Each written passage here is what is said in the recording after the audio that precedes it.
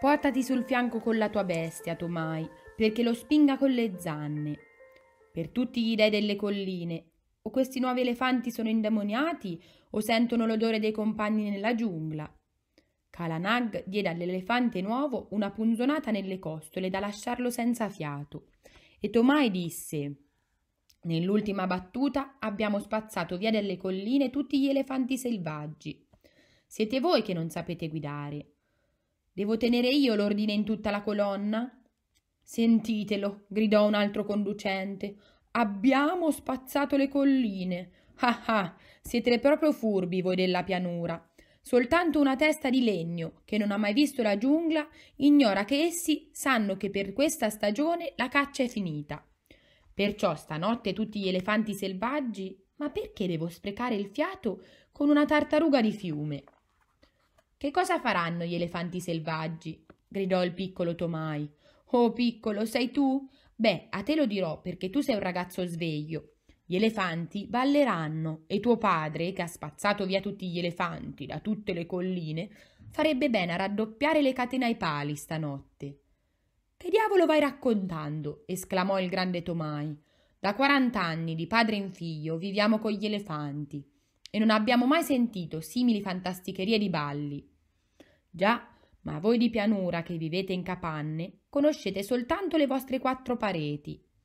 Ebbene, stasera prova a non legare gli elefanti e vedrai cosa succederà. Quanto al ballo, ho visto il posto dove. Bapribap, ma quanti giri fa il fiume di Yang? Ecco un altro guado e bisognerà far notare i piccoli. Fermatevi voi gli altri in coda. E così, chiacchierando, litigando e diguazzando attraverso i fiumi, giunsero al termine della prima tappa, in una specie di accampamento preparato per accogliere i nuovi elefanti. Ma tutti persero la pazienza molto prima di arrivarci. Gli elefanti vennero incatenati per le zampe posteriori a grossi pali, e poi, dopo aver messo doppie pastoie a quelli nuovi e aver ammucchiato il foraggio davanti a ciascuno, i conducenti di collina tornarono da Petersen Sahib, mentre era ancora chiaro. Prima però raccomandarono ai conducenti di pianura di stare molto attenti quella notte e risero quando quelli ne chiesero il motivo. Il piccolo Tomai si occupò del pasto di Kalanag e poi, quando calò la sera, vagabondò per l'accampamento, incredibilmente felice, in cerca di un tam tam. Quando un bimbo indiano ha il cuore gonfio di gioia, non corre avanti e indietro a far baccano disordinatamente, si siede e fa festa per conto suo. E il piccolo Tomai era stato interpellato dal grande Petersen Sahib. Se non avesse trovato quello che cercava, forse sarebbe scoppiato. Ma il venditore di dolci dell'accampamento gli prestò un piccolo tam tam, un tamburo sul quale si batte col palmo della mano, il ragazzo si mise a sedere con le gambe incrociate davanti a Kalanag, mentre cominciavano a spuntare le stelle, col tam tam in, in grembo, e batté, batté, batté. E più pensava al grande onore che gli era toccato, più batteva, tutto solo in mezzo al foraggio degli elefanti. Quel tamburellare soltanto, senza melodia né parole, bastava renderlo felice. I nuovi elefanti tiravano le corde, soffiavano e barrivano di tanto in tanto, e Tomai sentiva sua madre, nella capanna dell'accampamento, ninnare il fratellino con un'antichissima canzone che narrava come il grande dio Shiva avesse ordinato un tempo a tutti gli animali quello che dovevano mangiare. È una dolcissima ninna nanna e la prima strofa dice Shiva che seminò le messi e fece soffiare i venti alle soglie di un giorno lontano, lontano, assegnò ciascun la sua porzione di cibo, di lavoro e di sorte. Dal re sul gudì al mendico al cancello. Tutto creò Shiva il protettore, ma Adeo, grande Dio, tutto creò. Spine per il cammello, foraggio per il bue, e il seno della mamma per la testina sonnacchiosa piccolo figlio mio. Il piccolo Tomai accompagnò con un festante tunca tunk la fine di ogni verso, finché, preso dal sonno, si sdraiò sul foraggio accanto a Kalanag. Finalmente gli elefanti cominciarono a coricarsi uno dietro l'altro, come è loro abitudine, finché rimase in piedi soltanto Kalanag in fondo alla fine. Dondolava lento sui fianchi, con gli orecchi tesi ad ascoltare il vento notturno che spirava molto dolcemente dalle colline. L'aria era piena di mille rumori notturni che, riuniti, formavano un unico, infinito silenzio. Il ticchettio delle canne di bambù che si urtavano, il fruscio di qualcosa che sguscia fra l'erba, il raspare e il pigolare di un uccello semisveglio. Di notte gli uccelli si svegliano più spesso di quanto si creda. E lo scroscio di una cascata, molto lontano. Il piccolo Tomai dormì per un poco e quando si svegliò c'era uno splendido chiaro di luna e Kalanag era ancora ritto in piedi con le orecchie tese. Il piccolo Tomai si voltò sul foraggio frusciante e guardò, e guardò la curva del suo dorso possente contro il cielo stellato. E mentre guardava sentì, tanto lontano che parve appena una punta di spillo di rumore nel silenzio, il utut di un elefante selvaggio. Tutti gli elefanti della colonna balzarono in piedi, come colpiti da una fucilata, e i loro brontolii finirono per svegliare i maut addormentati, che alzatisi rinforzarono i picchetti a colpi di mazza e strinsero e annodarono le funi, finché tutto tornò tranquillo. Un elefante nuovo aveva quasi sradicato il suo picchetto e il grande Tomai tolse la catena dal piede a Kalanag e impastoiò l'altro, l'altro legandogli una zampa davanti con una dietro. Poi passò un laccio di corda d'erbe alla gamba di Kalanag e gli ordinò di ricordarsi che era legato solidamente. Era una cosa che tanto lui quanto suo padre e suo nonno avevano fatto centinaia di volte. Kalanag non rispose all'ordine col solito gorgoglio.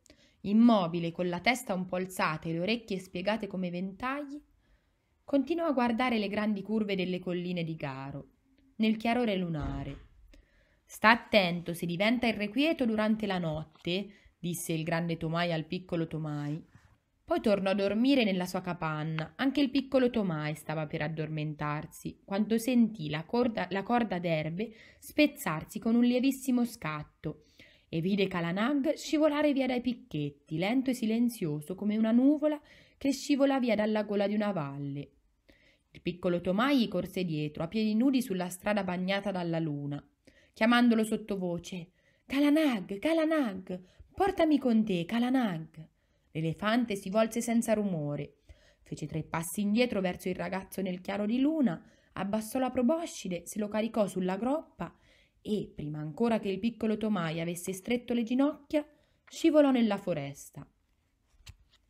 Nella colonna si alzò un coro di furiosi barriti, poi il silenzio calò su tutte le cose e Kalanag si mise in cammino. Talvolta un ciuffo d'erbe gli lambiva i fianchi come un'onda lambisce i fianchi di una nave, e altre volte un grappolo di pepe selvatico gli frusciava sul dorso o un bambù scricchiolava, urtato dalla sua spalla. Ma, a parte questo, egli procedeva assolutamente senza rumore, passando attraverso la densa foresta di Garo come attraverso del fumo. Stava risalendo la collina, ma benché il piccolo Tomai osservasse le stelle fra le cime degli alberi, non riuscì a capire in quale direzione andasse. Giunto in cima alla salita, Kalanag si fermò per un momento e il piccolo Tomai poté contemplare l'immensa distesa degli alberi, simile a un tappeto folto e variegato sotto la luna, e la nebbia azzurrina che si alzava dal fiume in fondo alla valle.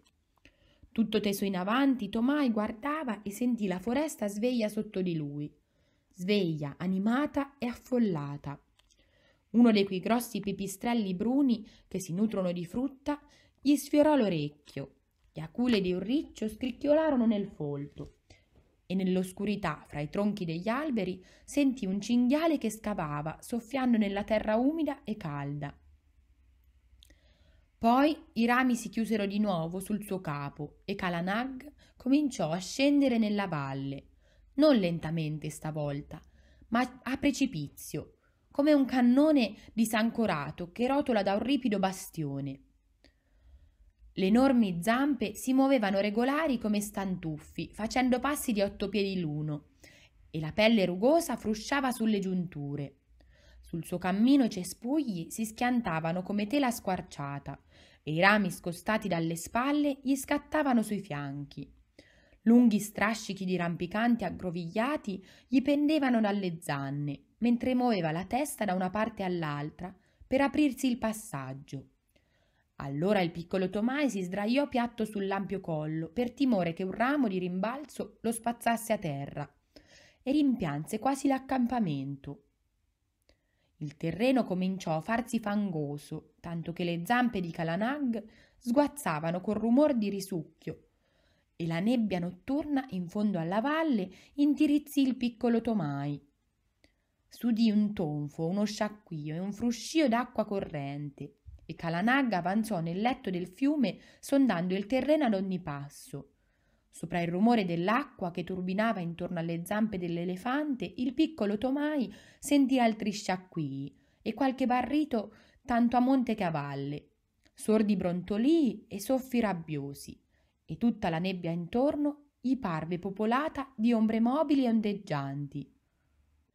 Abbiamo letto Il libro della giungla di Rudyard Kipling. Edizione La Biblioteca Ideale Tascabile